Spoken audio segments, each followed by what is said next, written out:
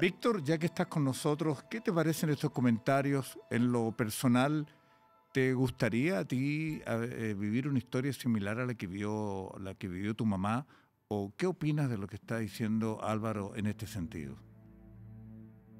Que yo creo que a lo mejor es algo, como dice, algo de sensibilidad. Yo creo que algo que nos pasa a nosotros, a la familia, porque cuando yo era más chico, igual me pasaron cosas así como siniestras, se puede decir. A ver, que como qué, para siniestra ya me interesó. ¿Qué pasó?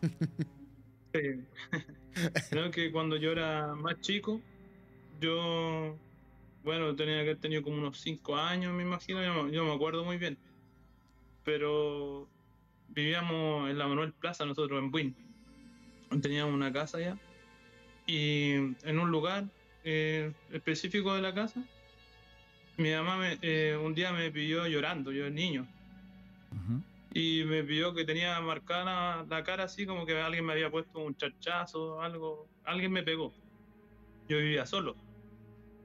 Y yo creo que le dije chico, le dije, eh, fue el Marcelo que me pegó, que, que, el Marcelo me había pegado. ¿Ya? ¿Y quién era Marcelo? Y mi mamá dije, pero ¿qué Marcelo? ¿Qué Marcelo? Y yo le dije, y me lo dije ahí al Marcelo y le apuntaba en una grieta que había en el suelo. Y mi mamá eh, buscó ahí el Marcelo, como era niño, le llamó la atención eso. Y mi mamá encontró unas tablitas que decían Marcelo ahí. Y mi mamá le dijo a mi papá que taparan y taparon con cemento. Todo ese lugar. Ah, mira. Y a la, vecina llamó llorando a, a, mi mamá al lado porque tenía una nieta que veía una, una persona que la destapaba en la noche. El niño, cuando yo, mi mamá tapó ahí, se fue a la casa al lado.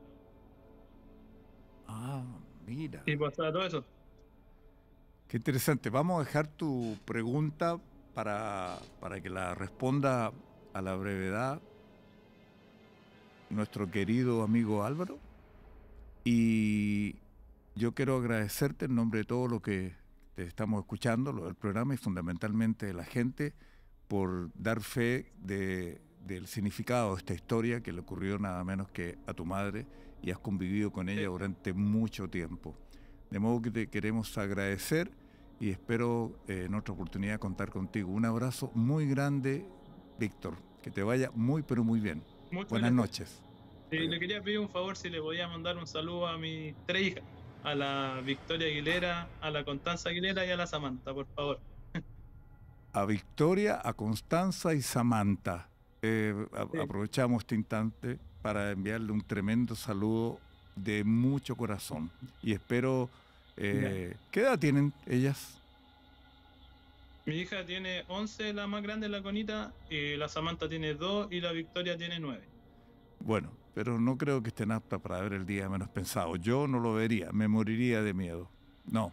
Eh, no, estaban esperando a él porque mi hija le gusta verlo el jueves, le gusta él. Son de la familia. Me gustan las cosas de terror. la familia. Sí, sí. Para ellos son, para ellos son verdaderos cuentos de Caperucita Roja. ¿Qué más? Eh, algún día seremos tan fuertes como un cuento de Caperucita Roja. Eh, Víctor, gracias. Saludos a ellas. Que estén muy bien. Ahí vieron a su padre comentar la historia.